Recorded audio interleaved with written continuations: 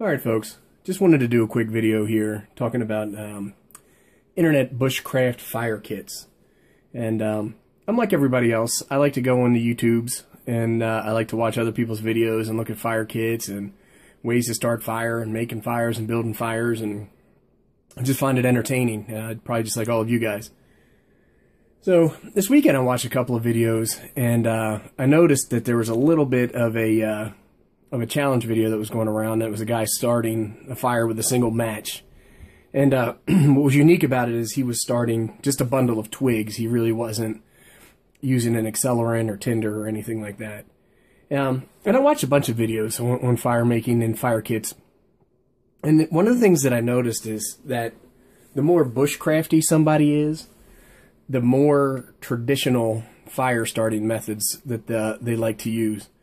And it was funny because in, in one of them, this guy was talking about, well, you know, I like to start a fire with a with a ferro rod, uh, or, or or some kind of st uh, steel striking like that. And he goes, but uh, in the case of an emergency, I have this little kit here, and he pulled out a uh, Altoids kit, and he had some uh, char cloth in there, and he had uh, a piece of carbon steel and a piece of flint and I saw that in some other videos too, and I, I, think that these people are nuts.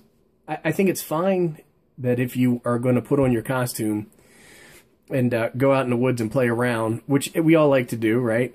Um, when you do that, I think it's okay to play around and practice with, you know, a bow drill or magnifying glass fire or uh, tinder fungus or you know whatever it is and it's a good knowledge to have and i think it's a good skill set to have and i think it's uh, very valuable to be able to go out into the woods and find things like uh, this is actually a false tinder fungus but it can be used in, in like birch bark and, and fat wood and stuff like that.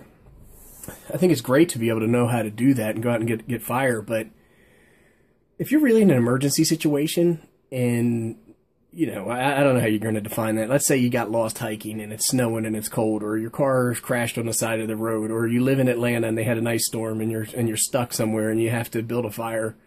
Um, I want chemical fire and I want modern technology, and so as a result, I, I carry things like these matches that uh, you can dunk in water. And uh, they continue to burn. They're the they're the strike anywhere. Or not sorry, they're the they're the Stormproof matches. I think it's UCO is the company. There's a couple of different places uh, you can get them. Uh, I carry things like this wet fire and um, cotton balls soaked in uh, Vaseline and things like this live fire. And then I carry, um, well, these, these are accelerants and then uh, ignition sources.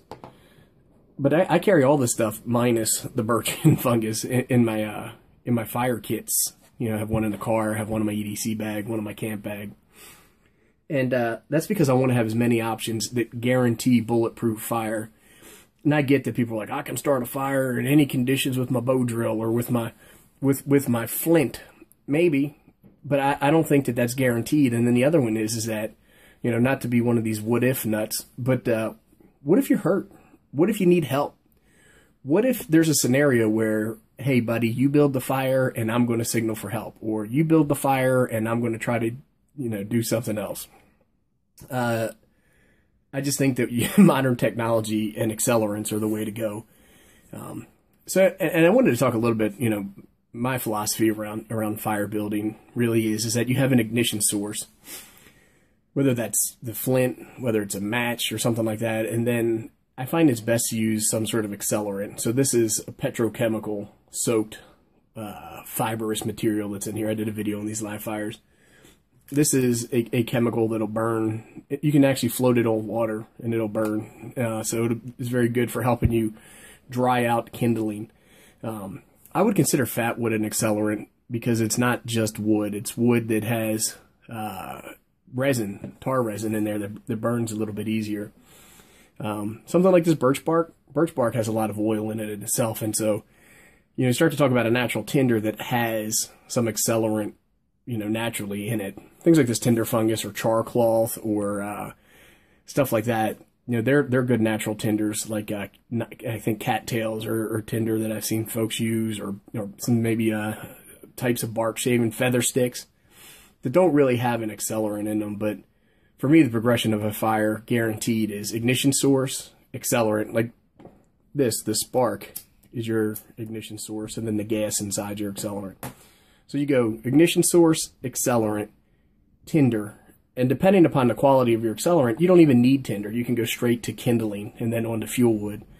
So with this live fire, I can light this thing on fire or one of these these these wet fires, and I can drop that whole bundle of twigs on there. I don't need any sort of natural tinder, and that makes my fire easier to get going uh, and, and, a quicker and a more guaranteed process. And then you move on to different size uh, fuel woods.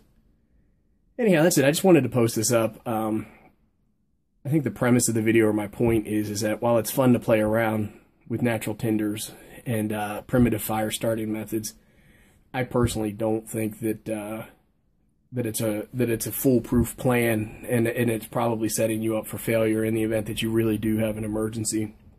I think that uh, we've learned better ways to build mousetraps, and I think we've learned better ways to build fires.